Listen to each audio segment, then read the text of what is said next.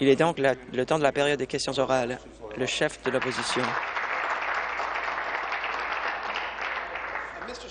Monsieur le Président, ma question s'adresse à la Première ministre. Regardons les parents ici à Queen's Park. Ce sont des parents avec euh, des enfants autistes. L'intervention comportementale intensive est une thérapie pour ces enfants. Les progrès réalisés à cause de cette thérapie sont tout à fait excellents. Pourquoi le gouvernement ignore-t-il ces enfants et ses parents? La Première ministre. Tout d'abord, j'aimerais souhaiter la bienvenue aux enfants et aux parents. C'est une question tout à fait importante. Pendant de longues années, en tant que gouvernement, nous avons collaboré avec les organismes de parents qui travaillent avec les enfants autistes afin d'effectuer des changements au fur et à mesure que les preuves, scienti- preuves scientifiques sont révélées. Ce qui est inacceptable, ce que c'est que les enfants se trouvent sur une liste d'attente et ne se font pas dispenser des services. Il est tout à fait important de mettre en place les investissements afin d'aider les, les enfants à accéder aux services nécessaires. Complémentaire. Monsieur le Président, à la Première ministre, ce qui est inacceptable, c'est les compressions au service d'autisme. Je vais vous lire une cit- citation de Lisa Minier, qui était dans un article d'Alison Jones. Madame Minier est maire de Brampton, qui a une fille de presque 5 ans qui a été sur la liste pour l'intervention comportementale intensive pendant trois ans. Elle a dit que le financement gouvernemental ne va couvrir que quelques semaines de thérapie. Elle est déçue que le gouvernement le, ferait et qu'il existe des services de thérapie qui peuvent aider nos enfants et le gouvernement enlève ces services. La première ministre ne peut pas décevoir ses parents et ses enfants. Pas la façon par laquelle nous le faisons ici en Ontario. Est-ce que la première ministre fera ce qui s'impose? Est-ce qu'elle réinst- réinstaurera le financement pour l'intervention comportementale intensive? Asseyez-vous, la première ministre.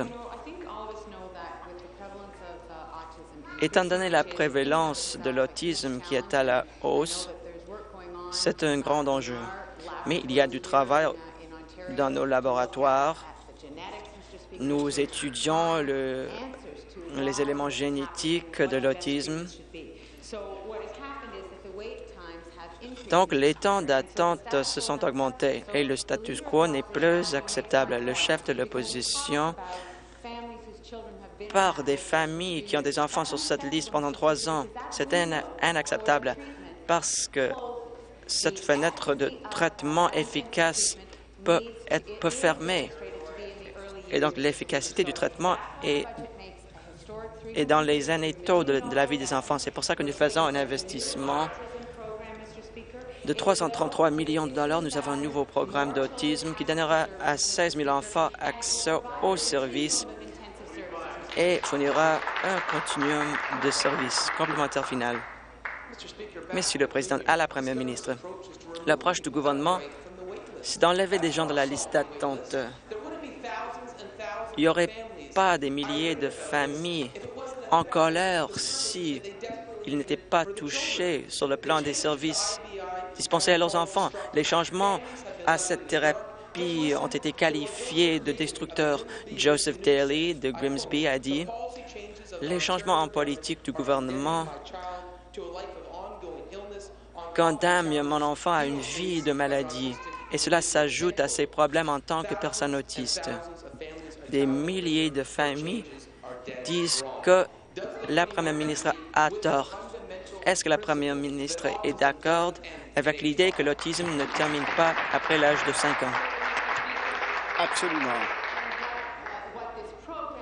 Et ce programme reconnaît ce fait qu'il faut un continuum de services. Nous allons couper maintenant la liste d'attente par moitié. Un grand nombre plus d'enfants auront accès à ces services. Intervention du Président, député de Dufferin Culloden. Il y a des gens qui, qui sont sur la liste parce que le statu quo ne fait rien pour eux. Nous allons retirer ces personnes de la liste et ces familles recevront une somme de 8 000 un nouveau programme qu'il y aura un, euh, un traitement intensif du comportement qui est nécessaire. Voilà ce que le nouveau programme, c'est-à-dire un continuum de services. C'est ce que la recherche et les chercheurs nous disent. Nouvelle question. Chef de l'opposition, ma question s'adresse à la première ministre. Il semble que je, je n'ai aucune réponse. Il y a eu une réunion qui a eu lieu hier sur les dons. C'était vraiment de l'intoxication libérale. Nous n'allons pas revenir sur notre décision. Nous n'allons pas se faire intimider et refuser l'enquête publique. Hier, elle a prétendu n'a jamais intervenu dans les politiques, malgré de plusieurs exemples que le public euh, met en doute l'intégrité du gouvernement. À la première ministre, est-ce que la première ministre a déjà accordé un crédit pour des euh, dons euh, à venir lors de campagne électorale? Je voudrais prendre le temps, arrêter la pendule, de rappeler aux députés d'insinuer des allégations et nous sommes très près. Je rappelle aux députés de faire preuve de prudence. Première ministre, la réponse de la première ministre est non. Ce n'est pas la façon dont les décisions sont prises au sein du gouvernement. Nous avons un protocole que nous suivons. Je veux modifier les dons politiques en Ontario il y a un consensus sur la modification et règles de l'Ontario. J'ai eu une rencontre avec le leader du Parti vert. Il a proposé certaines recommandations qui reflètent l'ensemble des recommandations. Je crois qu'il y a un processus élargi et ce consensus est élargi que j'ai proposé. Intéressant. Monsieur le Président, j'ai noté qu'à la préparation avoir avec une entente, un entretien important avec euh, les chefs et à la maison, et ça a été inacceptable. Vous savez quoi? Je ne sais pas comment les chefs de l'opposition, c'était une réunion importante. J'avais des propositions à faire. Intervention du président.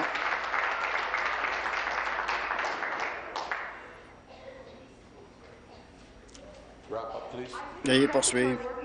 J'avais fait un travail préparatoire et, et c'est d'après ce que j'ai vu ailleurs pour avoir une, discussion concernant les enjeux que j'avais proposés. Monsieur le Président, de retour à la première ministre, je reconnais que la première ministre euh, veut que j'abandonne l'idée de demander une enquête publique je vais vous donner des exemples. Voilà pourquoi nous avons besoin d'une d'une enquête publique en 2013. Le gouvernement a donné 500 000 dollars, 2,5 milliards de dollars, qui, qui c'est la seconde société de divertissement la plus riche dans le monde. MLC a donné 33 000 sans jamais avoir donné à aucun parti politique auparavant. Est-ce que la première ministre, quelqu'un de son personnel, un député, intervention du président, je demande au leader parlementaire de retirer ses commentaires. Merci.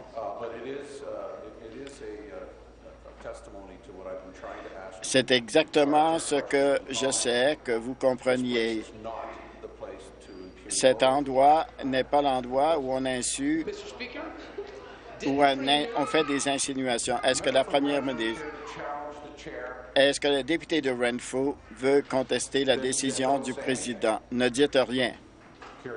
Veuillez poursuivre. Monsieur le Président, est-ce que la première ministre ou un membre de son personnel a fait des pressions auprès des NMC pour faire des dons au Parti libéral en échange d'un crédit d'une subvention de 500 000 Non, Monsieur le Président. Je demande au chef du troisième parti. Je sais qu'il va continuer à demander une enquête publique. Cette discussion provient de la de nécessité de moderniser les règles en matière de financement. C'est ce que nous allons faire. J'ai fait des propositions, des règles sur les publicités de tierces et les dons maximum. Qu'est-ce qui est permis à l'échelle fédérale, par exemple, des limitations sur les partis de, la part des candidats, y compris, y compris la réforme des des règles de donation et, et le dépôt de ce député de Lise Grenville, deuxième fois, et également les dépenses lors des congrès à la chefferie de parti. J'ai proposé cette réforme. Je voulais avoir une perception et j'espère que nous allons avoir de la part importante de ces trois chefs des, autres chefs.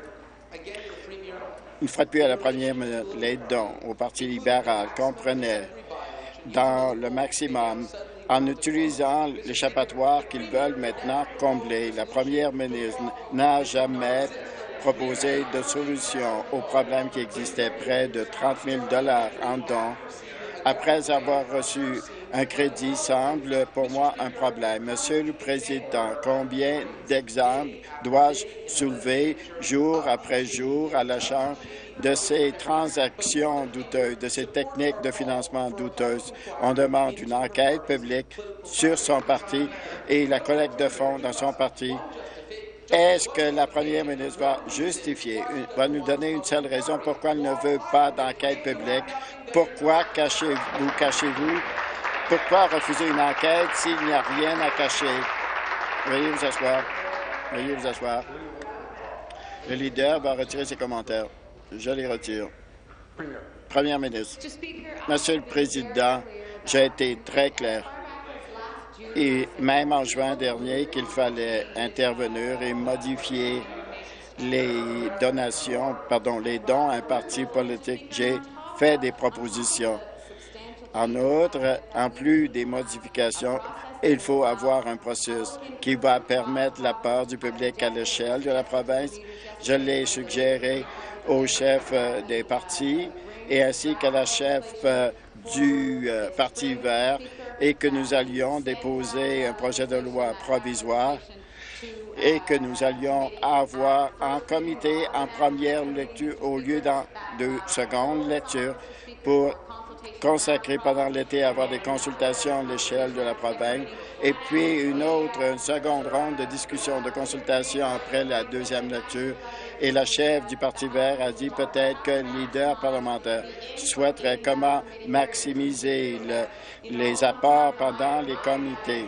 Et mon expérience en comité que les discussions tronquées et j'espère que les euh, les leaders parlementaires pourront avoir une discussion à cet égard. Chef du troisième parti, merci, Monsieur le Président. Ma question s'adresse à la Première ministre. Ce matin, mon porte-parole en matière de services à l'enfance et, ont rencontré des experts et sont venus avec d'autres parents pour lancer une sonner la l'alarme concernant les services après les d'autisme après l'âge de 5 ans.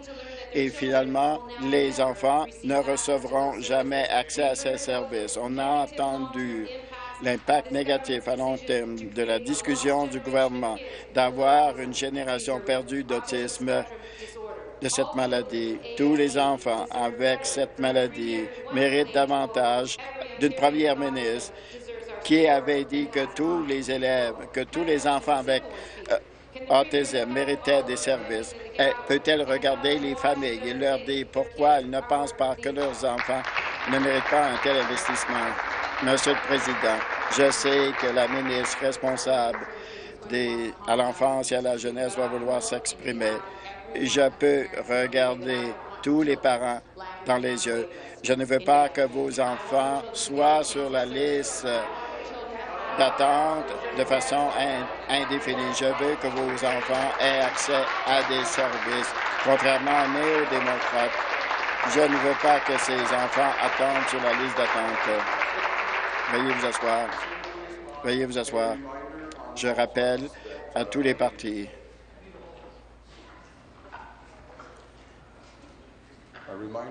Je rappelle à tous les députés que le débat a démarré la pendule. Je rappelle à deux députés que le débat se fait par la présidente. Vous savez pourquoi. Complémentaire. Je suis sûr que leur réponse, c'est qu'ils ne veulent pas que la première ministre les retire de la liste d'attente des services.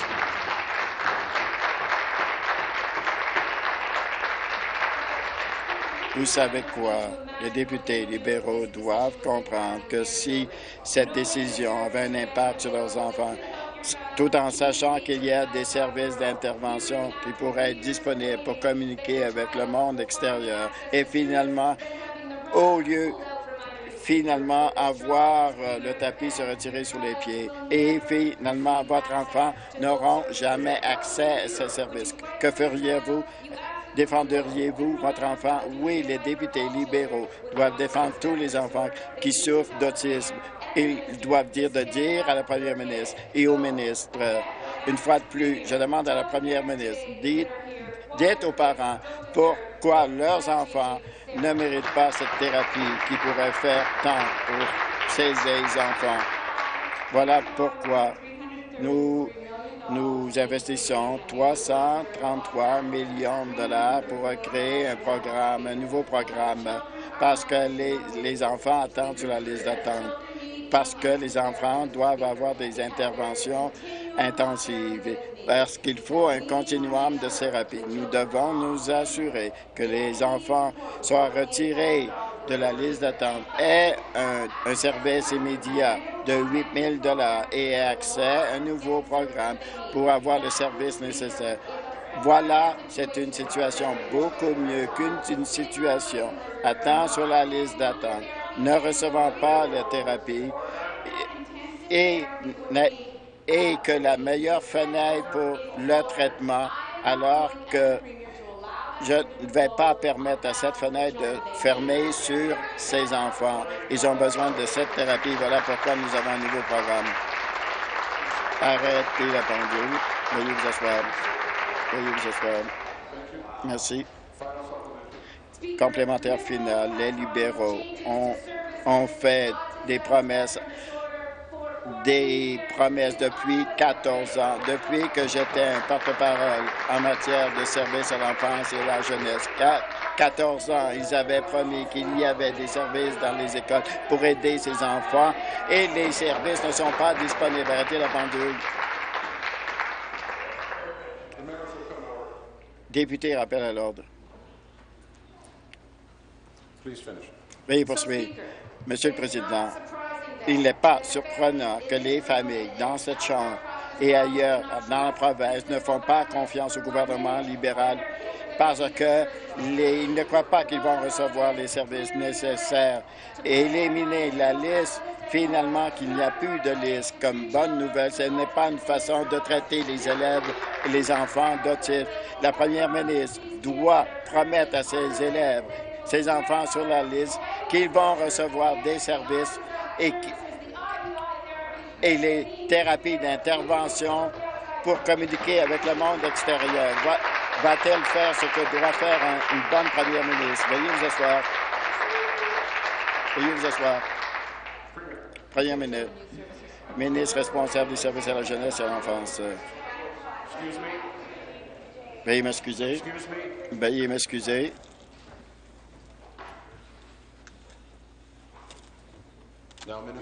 Ministre, merci. Je suis heureuse d'avoir euh, l'occasion de répondre à une question alors que les parents sont ici. Je sais que la situation est difficile pour les enfants et les parents. Intervention du président. Arrêtez la pendule. Je demande aux invités qu'ils ne doivent faire aucune démonstration. Vous devez vous abstenir d'intervenir. Ministre, merci. Je sais que ces modifications vont affecter un grand nombre de familles dans la province, y compris les enfants qui ne sont pas ici aujourd'hui. Nous modifions le programme par quoi nous suivons les études scientifiques. En plus d'un investissement de 333 millions de dollars, nous allons créer des espaces pour 16 000 enfants lorsqu'ils en ont besoin le plus. Voilà pourquoi on travaille fort et, qu'il y aura des ateliers. Et, finalement, hier soir, il y a eu euh, où 500 parents se sont présentés et d'autres ateliers seront lieu. Troisième partie. Ma question s'adresse à la première ministre. Elle a dit, la première ministre, hier, que son plan pour modifier les règles de partisans était non partisan. Elle que voulait travailler avec les autres partis. Finalement, elle a dit à la presse qu'elle a écrit son plan à sa table de cuisine pendant le week-end. Et pour ajouter, s'il y avait des consultations, intervention du président, rappel à l'ordre,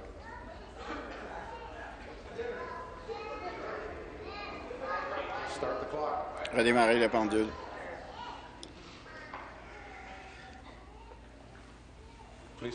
Veuillez poursuivre. Merci. Elle a vu des consultations en, devant un comité avec une majorité libérale qui peut rejeter tout élément que le Parti libéral rejette. Croit-elle vraiment que la population de l'Ontario va respecter cette position?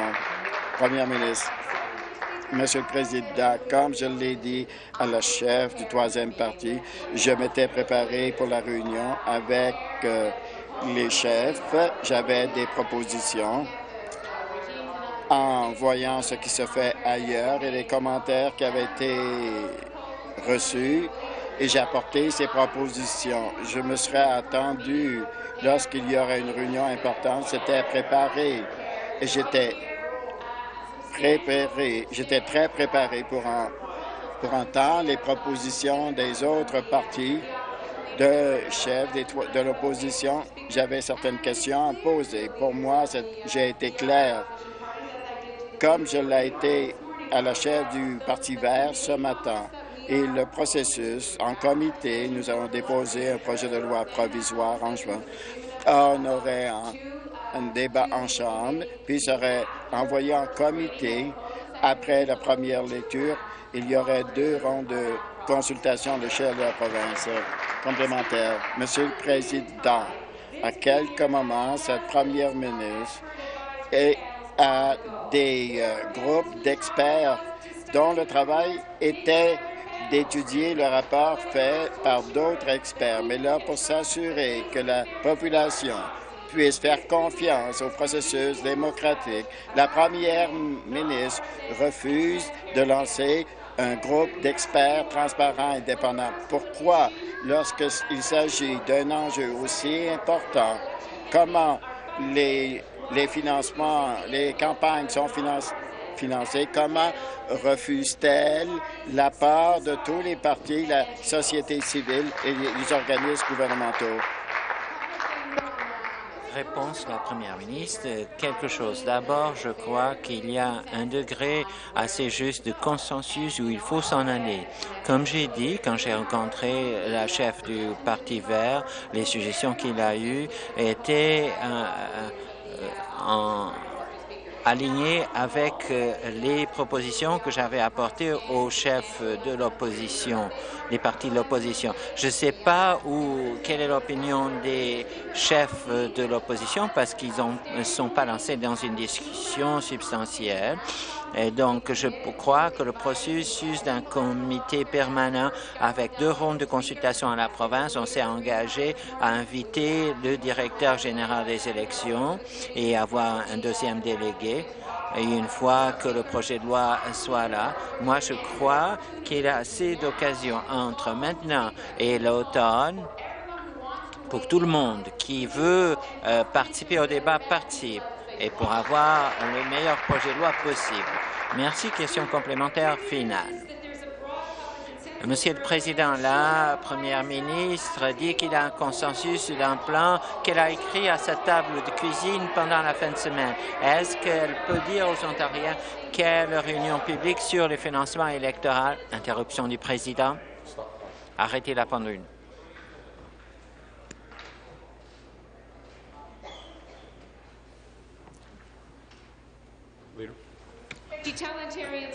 Est-ce qu'elle peut dire aux Ontariens quelles audiences publiques sur le financement électoral elle a, combien des euh, organismes non gouvernementaux et des électeurs euh, elle a consulté et combien d'organismes ont fait des propositions dans ce document qu'elle a utilisé à sa cuisine de table?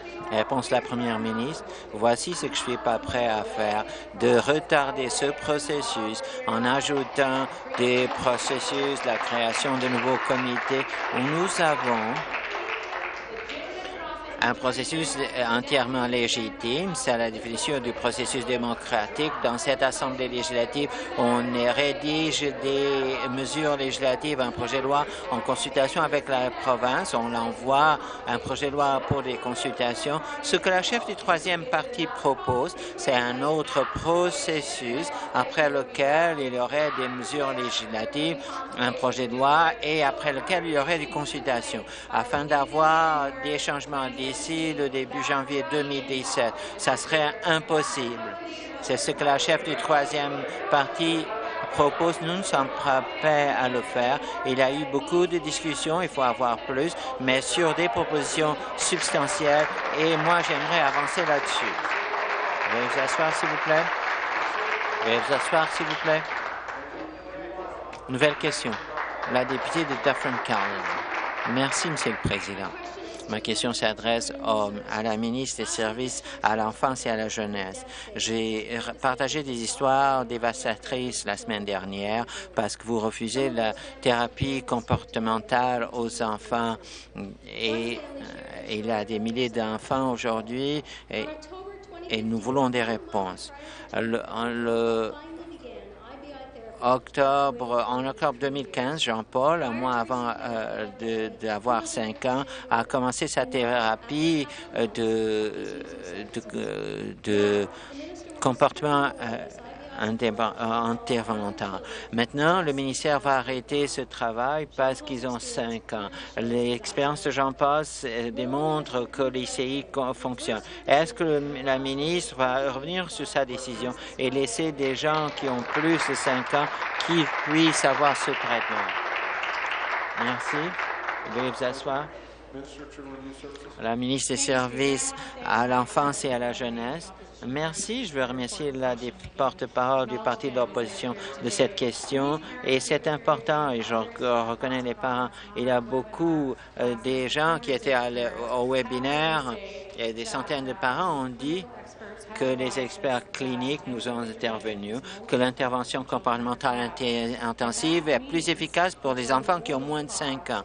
Ça veut dire que les enfants de plus de 5 ans ne sont pas dans le cadre de comportement euh, qui s'applique. Les enfants qui ont plus de 5 ans, qui attendent des services, ont un financement de 8 000 qu'on leur donne maintenant afin qu'ils puissent être retirés des délais d'attente et recevoir des services. Et les parents peuvent acheter les services immédiatement et les enfants ne sont pas obligés d'attendre. Une fois que cet argent est dépensé, et les parents peuvent avoir accès à des, fonds publics pour des services euh, d'autisme qui seront façonnés aux besoins des enfants. Merci. Question complémentaire les yeux webinaires où vous essayez de justifier la décision, c'est pas ce que les parents veulent. Ils veulent la thérapie pour leurs enfants. Je veux citer d'une autre aide que j'ai reçue des parents. Le père a écrit, c'est malheureux que l'autisme n'a pas la même priorité que le cancer. Les deux n'ont pas de curement et coûtent beaucoup et dévastent les familles. Quand on parle du financement limité, euh, pensez à l'autisme comme au cancer. Pensez ce que vous avez. Si c'était une déclaration euh, que vous avez faite sur l'autisme et c'était remplacé pour le cancer, C'est exactement ce que vous faites avec les enfants qui ont le trouble euh, de l'autisme. Il y a des milieux d'enfants ontariens qui entendent de l'intervention comportementale intensive aujourd'hui. Est-ce que vous allez faire quelque chose? Interruption du président? Veuillez vous asseoir. Réponse de la ministre. Monsieur le Président, je remercie la députée de la question. C'est une question importante. Je sais que c'est difficile d'avoir un enfant qui a des besoins spéciaux.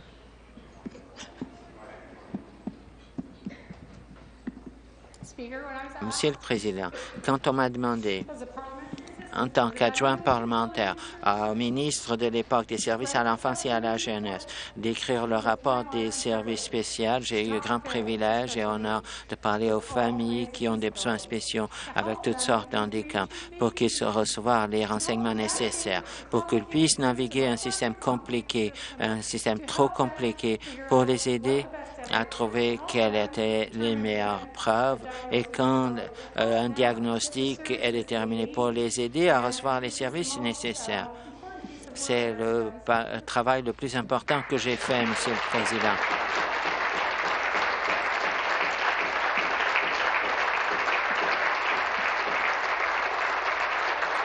Réponse?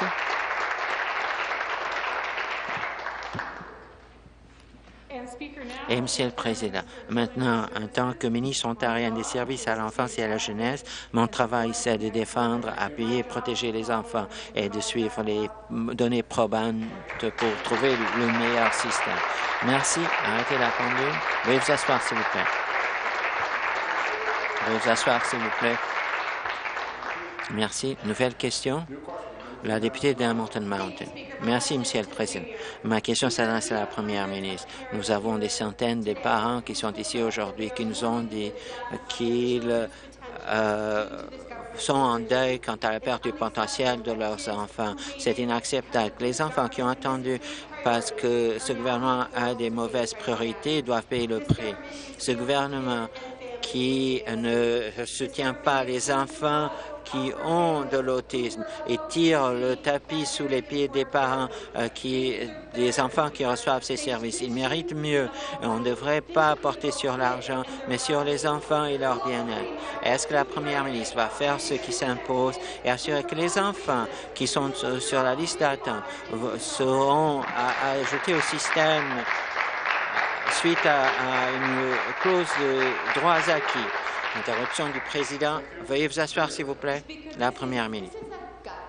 C'est une situation difficile qui nous touche au cœur. C'est clair qu'il y a beaucoup d'émotions investies par toutes les familles et des milliers de familles partout en Ontario. Moi, j'étais la ministre de l'Éducation à un moment. J'ai travaillé avec la ministre des Services à l'enfance et à la jeunesse de l'époque. On a fait des changements au programme de l'autisme. Les éléments démographiques ont changé. Il y a davantage d'enfants qui euh, sont nés avec euh, l'autisme ou le spectre. Il faut continuer à changer le programme afin qu'il réponde aux besoins des enfants qui sont dans notre société. Il faut s'assurer que les enfants ne restent là sur la liste d'attente. Et ce qui me préoccupe, c'est ce, ce, que les partis d'opposition euh, proposent. Cela me préoccupe, oui, vraiment. Interruption du président. Alors, s'il vous plaît. Alors, s'il vous plaît.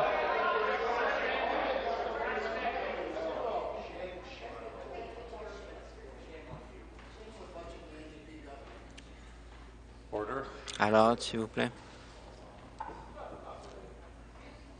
La Première ministre, c'est inacceptable pour moi qu'on donne une situation continue, que les enfants restent sur une liste d'attente et d'avoir pas de service. C'est inacceptable. On ne va pas laisser ça continuer.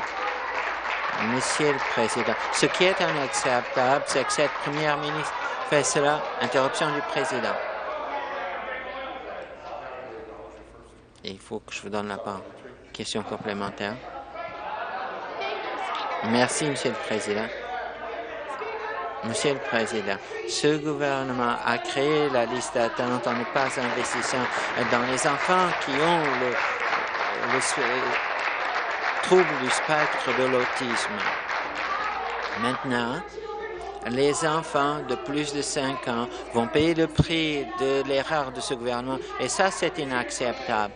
On a des experts ici qui ont dit au gouvernement clairement que c'était tout un échec. Ces familles sont venues de partout de la province pour que leur voix soit entendue. Est-ce que la première ministre va l'écouter? Est-ce qu'elle va regarder les familles et leur dire que elle va faire ce qui s'impose et ajouter les enfants à euh, des droits acquis qui ont plus de cinq ans? Monsieur le Président, ce que je dis aux familles, c'est qu'il faut faire ce qui s'impose et veiller que 16 000 enfants de plus puissent recevoir du service. Chaque enfant qui souffre d'autisme reçoit les services nécessaires et il y a une intensité continuelle qui est nécessaire. Ce qu'on fait, on donne de l'argent immédiatement afin que les parents puissent acheter l'argent. Mais ce n'est pas la fin. Il faut continuer et qu'on puisse avoir des nouveaux programmes qui va donner tout un éventail de programmes intensifs et c'est les services ABA. Je veux que chaque enfant de cette province puisse avoir les services euh, euh, appropriés. Je ne veux pas qu'il reste dans euh, la liste d'attente et qu'il manque la chance et c'est pourquoi on fait ces changements on fait ces investissements très importants. Interruption du président. Alors, s'il vous plaît, arrêtez la pendule. Je demanderai, comme j'ai expliqué, on ne peut pas avoir des réactions et je vais demander à la personne de sortir, s'il vous plaît. Si vous continuez, euh, je vais enlever des, toutes sections de la tribune. Pas de démonstration, s'il vous plaît.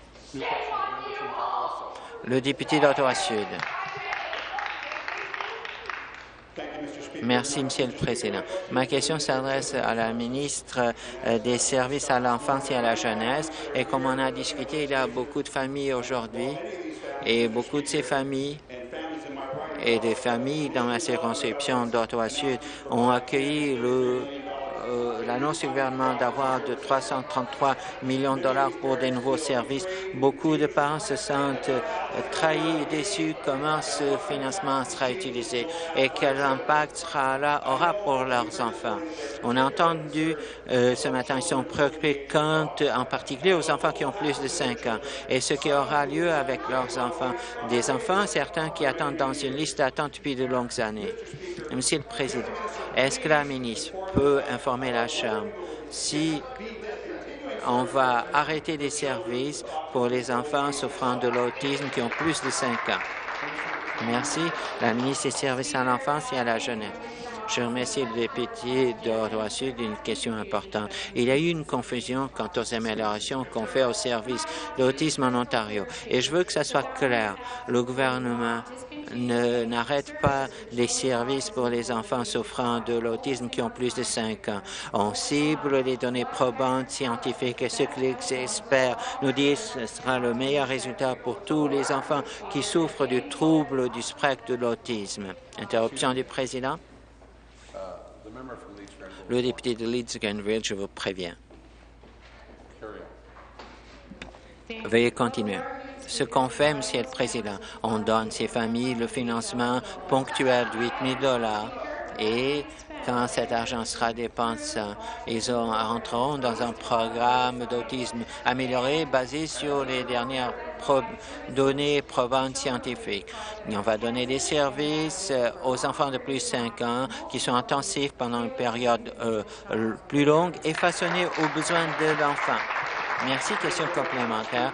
Merci beaucoup et je suis encouragé d'entendre qu'on va continuer à appuyer les enfants qui ont plus de 5 ans et que ces enfants vont recevoir des services immédiatement. Je veux assurer la chef du troisième parti que les députés de ce côté, euh, aussi bien que tous les côtés, défendent les familles qui ont de l'autisme et je veux assurer que ça soit clair pour elles. N'essayez pas de dire que c'est votre euh, enjeu pour euh, que les gens reçoivent la bonne information. Est-ce que la ministre peut nous expliquer et indiquer les programmes qui vont appuyer des enfants qui ont plus de 5 ans en Ontario, le nouveau programme d'autisme de l'Ontario? Merci. La ministre, merci.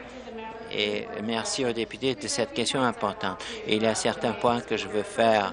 D'abord, un nouveau programme sera plus simple d'accès euh, et ça n'est pas un système euh, trop facile. Il y a juste un courant et quand un enfant entre dans un programme, un clinicien va faire une évaluation des besoins et chaque programme, euh, le programme chaque enfant sera façonné pour les besoins que cet enfant a. Interruption du président. Juste après, elle a continué. La députée d'Hamilton Mountain, deuxième fois. Veuillez continuer. Même si le nouveau programme ne sera pas appelé ICI, les enfants de tout âge qui ont besoin de ces interventions plus intensives vont recevoir le niveau d'intensité nécessaire, livré mieux qu'il était fait dans le vieux programme. Ça veut dire que 16 000 plus d'enfants vont avoir accès aux services et dans les deux ans, les listes d'attente seront réduites de moitié et j'espère que euh, ça sera réduit à six mois d'ici 2021. Merci. Nouvelle question, le député de Paris Muskoka. Merci. Ma question s'adresse à la première ministre. Euh, l'état d'urgence, Madame la euh, Première ministre, à Watapiskat est alarmant. Quand on entend les défis euh, directement, on ne pourrait pas croire que de telles conditions existent en Ontario, existeraient en Ontario. Est-ce que, euh, Monsieur le Président, la Première ministre peut expliquer ce qu'on fait pour aider euh, la collectivité d'Ottawa-Piscat dans cette crise? Le ministre des Affaires autochtones? C'est une situation tragique, Monsieur le Président. Ce qui a lieu dans la situation aujourd'hui, c'est qu'hier, il y a eu une équipe de réponse d'urgence de l'Ontario qui est arrivée à Atoapiscat euh, à 14 heures.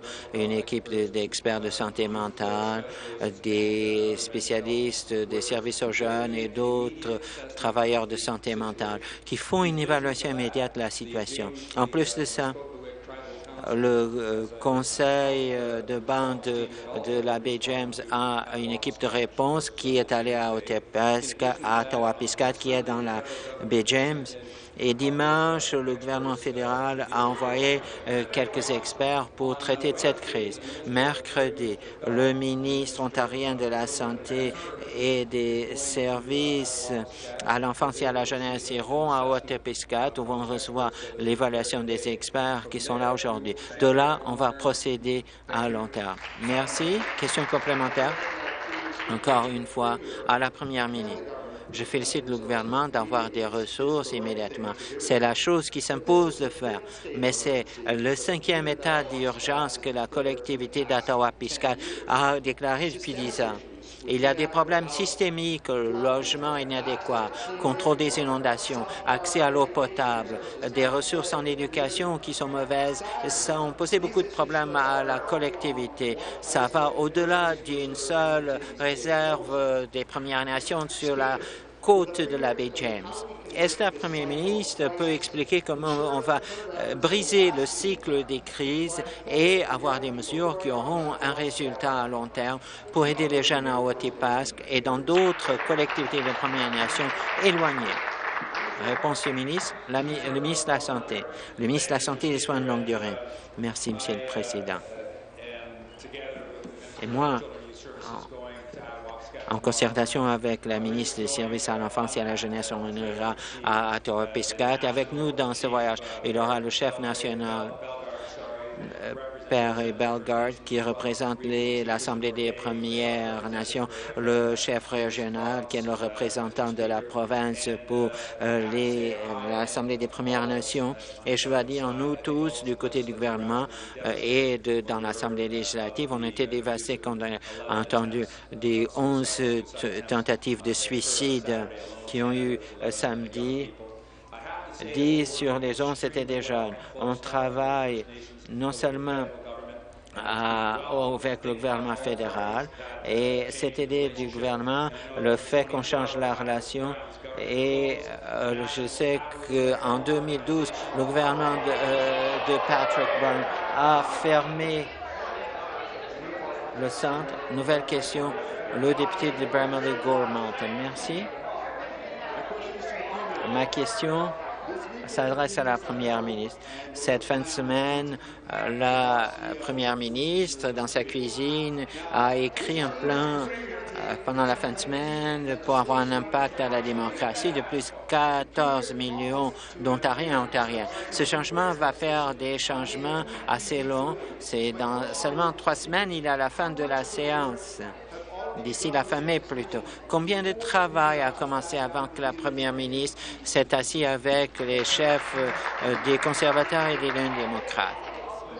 La première ministre, comme j'ai expliqué, je me préparais pour une réunion importante avec les chefs de l'opposition et j'avais hâte de voir les règles ailleurs les questions qui étaient soulevées, la discussion publique, et je préparais à avancer certaines propositions et poser des questions des chefs de l'opposition. Je m'aurais attendu que les chefs des partis de l'opposition auraient fait la même chose. Ils auraient préparé pour une réunion une conversation importante. Dans tout cas, euh, euh, le projet de loi n'a pas été encore rédigé. On, va, on propose de le déposer au printemps et j'espère que je vais entendre les chefs de l'opposition. J'ai déjà, comme j'ai entendu du chef du Parti vert, euh, ce qu'ils pensent. Merci. Question complémentaire. Merci. On sait déjà que pendant le processus budgétaire, les libéraux avaient déjà élaboré le budget avant que les consultations pré-budgétaires avaient terminé. On sait que la première ministre n'est pas d'accord avec le fait de faire des consultations d'abord et écrire des mesures législatives par la suite. Avec cet enjeu-ci, il semble qu'on va avoir le même résultat. La première ministre a déjà indiqué que certains des processus ont déjà commencé. C'est fait avant que euh, la première ministre ait consulté qui que ce soit, les experts non partisans, les chefs d'autres partis politiques et la société civile et consulté avec les Ontariens en général. Donc ma question est la suivante. Combien du processus est-ce qu'on a déjà commencé et combien, combien du projet de loi a été déjà élaboré? La vice-première ministre on entend la critique sur le processus, mais on va parler de la substance.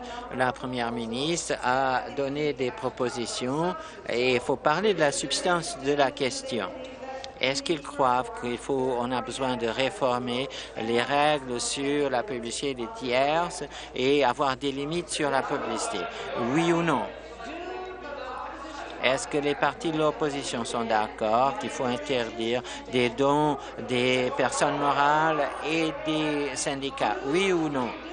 Est-ce que les partis de l'opposition croient qu'il faut réduire le montant maximal des contributions politiques? Oui ou non? Est-ce qu'ils croient qu'il faut avoir des euh, limites sur les prêts et les garanties de prêts? Oui ou non? Est-ce qu'ils croient qu'il faut avoir la réforme euh, des règles de dépenses, oui ou non? On a pour les élections partielles. On a de bonnes réformes. On veut avoir l'opinion de l'opposition. Merci. Nouvelle question, la députée de Bramley Springdale. Merci. Ma question s'adresse au ministre de l'Énergie. Ce gouvernement veut prendre des décisions qui bénéficient les Ontariens aujourd'hui et dans l'avenir. Et quand vous regardez les propositions dans le budget de 2016, le mandat est très clair. Le gouvernement est un chef de file, il essaie de faire euh, euh, des choses contre le changement climatique et avoir un système électrique qui est propre. Mes concitoyens ont des questions quant au système énergétique et 90% de l'électricité est sans euh, émissions de gaz à effet de serre, ce qui plaît beaucoup de gens et qui est un résultat du leadership de ce gouvernement. Est-ce que vous pouvez nous donner les résultats de cette structure et comment cela va bénéficier la province? Merci. Merci à la députée de sa question. Le gouvernement va optimiser le réseau électrique et l'expérience euh, du consommateur. Nous voulons, nous avons éliminé l'utilisation du charbon des fins d'électricité et les entreprises ont investi 34 milliards de dollars dans le secteur électrique et dans les lignes de transport d'électricité. Nous allons remettre à niveau les centrales nucléaires de Darlington et nous allons maintenir le tarif à 0,5 cents du kilowatt-hour de l'énergie propre. Nous allons créer des milliards de dollars en activité économique et créer plus de 60 000 emplois. Et l'utilisation euh, de Darlington au Pickering va permettre euh, d'économiser 600 millions de dollars. Et je il y a d'autres choses, mais je vais en parler pendant le complémentaire. Merci au ministre de sa réponse. Merci de ses investissements sur, en énergie propre, la participation dans l'économie faible en carbone. Nous voulons être le leader dans le domaine de l'innovation nous voulons faire davantage pour avoir une économie de faible teneur en carbone et, nous voulons comment les entreprises et les personnes pourront s'adapter. Comme le ministre l'a dit, la facture d'électricité ne va pas augmenter avec, euh, le système ou le programme de, carbone d'échange et de plafonnement. Et et qu'est-ce que les entreprises et les familles pourront payer davantage? Comment comment le ministre va gérer la facture d'électricité pour le consommateur? Nous avons déposé plusieurs mesures pour euh, aider les contribuables. Les contribuables. Nous allons éliminer le reliquat de la dette ou le taux d'ajustement en 2015. Nous avons également un programme pour les familles à faible revenu et cela permet à ces familles d'économiser 400 dollars avec le retrait du reliquat de la tête. Nous avons un plan économique pour les petites entreprises et les moyennes entreprises et conserver et économiser pour leurs factures d'électricité. Nous allons également prolonger les initiatives et, et demander aux, grands consommateurs de limiter leur, consommation pendant les périodes de, de pointe. Et un grand nombre d'entreprises permettent d'économiser maintenant 25% de leur facture d'électricité. Notre travail donne des résultats et nous allons continuer sur cette voie. Député de Lambton, Kent, Middlesex, ma question s'adresse à la première ministre. La semaine dernière, le National Post a exposé un rapport secret sur sur les, euh, le 5 milliards de dollars de BS aux entreprises. Et finalement, ces programmes favorisent les grandes entreprises qui n'ont pas besoin de ces subventions. La VG a déjà confirmé son choisi par le Parti libéral pour recevoir des subventions et le gouvernement n'assure même pas le suivi des résultats de ces subventions. J'ai demandé au ministère économique Euh, J'attends toujours une réponse. Et ma question est toute simple. Est-ce que la première ministre va rendre public toutes les subventions et les crédits aux grandes entreprises sous le mandat libéral? Qu'est-ce qu'elle cache si elle le fait pas? ministre du Développement économique, de l'Emploi et des infrastructures. Monsieur le Président, je, je voudrais, je serais heureux de rendre public tous les investissements auprès des entreprises. Nous avons investi 2,8 milliards de dollars.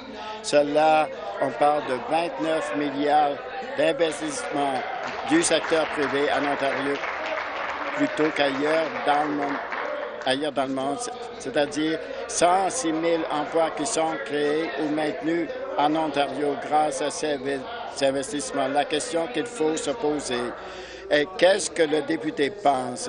Est-ce qu'elle est... Je sais qu'il y a euh, un problème avec cet enjeu. Lorsqu'il était un député à Ottawa, j'ai des photos avec le député de l'opposition que je vais pas montrer à Berry comme tous les investissements qu'on a faits. Est-ce qu'il va apprécier les investissements? Quelle est sa position à cet égard? Intervention du président. Euh, rappel à l'ordre complémentaire. Merci, Monsieur le Président. Je suis fier du fait que le gouvernement est d'accord qu'il va présenter les listes. Nous, allons, nous voulons savoir quand est-ce cette liste sera rendue disponible. On parle de 5 milliards d'appuis aux entreprises. Je sais que les plus grandes entreprises ont reçu la part d'union de ce financement. Nous savons également que le ministre du Développement économique n'a aucune idée sur le fait si ces investissements, ces crédits permettent de créer des emplois. Et, il n'y a pas eu souvent de demandes de processus et finalement, la première ministre a choisi les entreprises qui reçoivent les crédits par invitation seulement. Il y a un grand nombre de donateurs au Parti libéral qui ont reçu du BS d'entreprise. Va-t-elle nous dire quelles entreprises ont-elles été invitées pour recevoir ces, euh, ces subventions ou a-t-elle utilisé une liste ou bien est-ce que ça va prendre une enquête publique, ministre? Monsieur le Président, je crois que les Ontariens sont très curieux.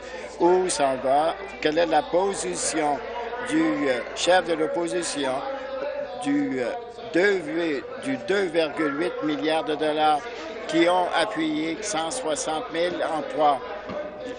Je vais vous envoyer une photo, de l'opposition à Beyrouth avec un de ses investissements. Voici ce qu'il a dit ce jour. Et l'argent du financement en innovation et en créativité. Intervention du président. Député Stormont, Dundas, Sud Languerie, peut se déplacer, mais je sais toujours où il est. Je voudrais compléter. Et il ajoute, celui sera un actif stratégique pour l'innovation à l'échelle planétaire. Nous créons des entreprises, nous créons des emplois Intervention du président. Nouvelle question. Député de Windsor-West. Merci, Monsieur le Président. Ma question s'adresse à la ministre de l'Éducation. Comme on sait, le budget 2007 a, également éliminé la volonté du, du gouvernement d'éliminer la pauvreté et qu'il y a moins en moins de personnel? On pense que le gouvernement pense qu'un élève de 12 ans est un adolescent et c'est l'échec auprès des familles. Les parents, particulièrement les femmes, ne, peuvent pas réintégrer le marché du travail parce qu'ils n'ont pas de place en garderie. Pourquoi en 2016, le gouvernement n'a pas une politique en matière de soins de garde? Ministre de l'Éducation. En fait, euh, nous avons une politique euh, très élaborée en matière de soins de garde. Nous avons consulté le secteur et on s'est débarrassé d'une ancienne loi. Nous avons déposé de, des soins de garde à la pré-enfance et qui clarifie la situation en matière de permis de services de garderie et nous avons également plusieurs nouvelles réglementations pour avoir euh, de meilleures places dans soins de garderie sans permis. Nous avons une politique pour avoir des services de garde à la petite enfance plus que tout autre gouvernement au cours des 30 dernières années. Complémentaire. Merci, Monsieur le Président les prestataires de soins de garde, les professionnels et les parents ont dit qu'ils n'appuient pas la réglementation et les modifications et qu'en 2016, le budget, il n'y a pas d'argent pour les services de garde. Ma question à la ministre est un gouvernement qui avait promis de faire une priorité des soins de garde. Ça prend combien de temps avant qu'une priorité devienne une réalité? Nous avons les les services de garde les plus chers dans le pays. Et la liste d'attente augmente et, j'espère qu'ils ne vont pas retirer les enfants de la liste comme ils l'ont fait avec l'autisme. Comment pouvons-nous nous assurer qu'il y ait des services de garde abordables? Je sais que le gouvernement fédéral ne garantit pas que la province allait recevoir le financement. Est-ce que la ministre que dit qu'elle aura l'argent dans le budget ou dans les, selon les promesses du fédéral, oui ou non? ce que je peux dire, notre gouvernement et notre bilan en matière de soins de garde. Depuis 2003, le gouvernement a doublé le financement à plus d'un milliard de dollars annuellement. En 2016, cette année, le ministre va assurer 1,05 milliard de dollars à 48, 47 municipalités, soit une augmentation à la hauteur de 68 millions ainsi l'augmentation du financement continue. En plus, nous allons investir 2,69 millions de dollars sur trois ans pour subventionner les salaires des travailleurs ou des éducateurs. On a commencé l'année dernière avec une subvention d'une heure, d'un dollar de l'heure, et finalement, nous avons une augmentation de 2 dollars de l'heure, et, et finalement, on parle d'une subvention qui passe de 18 dollars de l'heure à 20 dollars de l'heure. Ma question est responsable de, la condition féminine et nous sommes tous fiers de notre euh, fonction euh, civile. Est-ce que le ministre et du comité permanent sur la violence et l'intimidation, le gouvernement veut avoir des actions ainsi des dépôts de projets de loi aux victimes?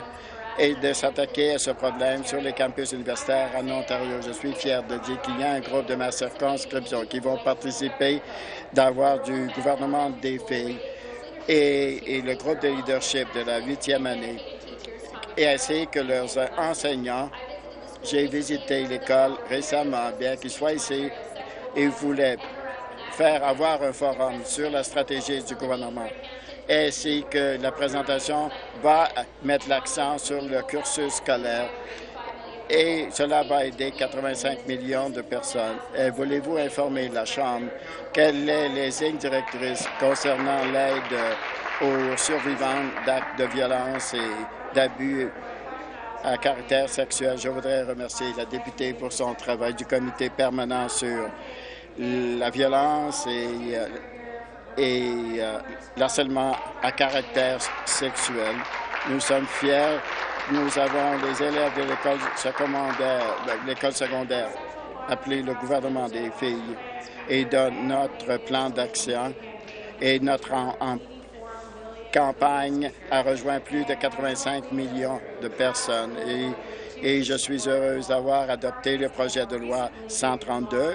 Nous avons lancé de la marche ensemble d'une stratégie à long terme avec les Premières Nations, soit un investissement à la hauteur de 118 millions de dollars pour mettre en place des stratégies.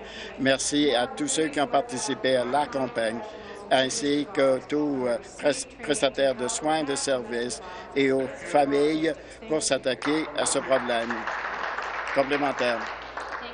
Merci, Monsieur le Président. Je voudrais remercier la députée, pour, la ministre pour, sa question. L'Ontario est un leader en matière de violence et de harcèlement à caractère sexuel. Je sais que la ministre parle également de l'importance du travail.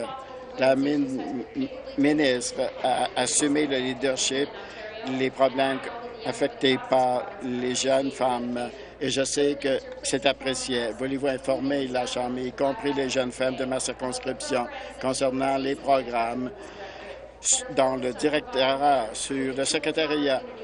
Quels sont les outils et les lignes directrices pour avoir un, avenir euh, brillant? Merci, Monsieur le Président.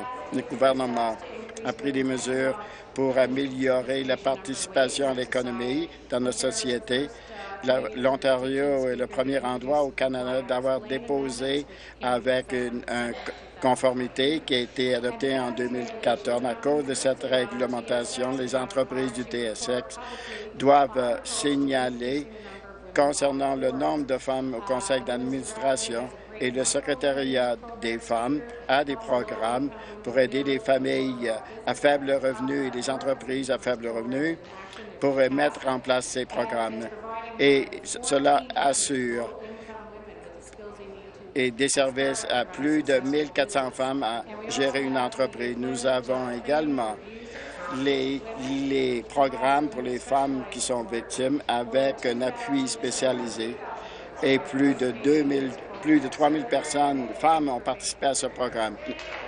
Merci. Étant donné qu'il n'y a aucune mise aux voix différée, la Chambre ajoute donc ses travaux jusqu'à 15 heures.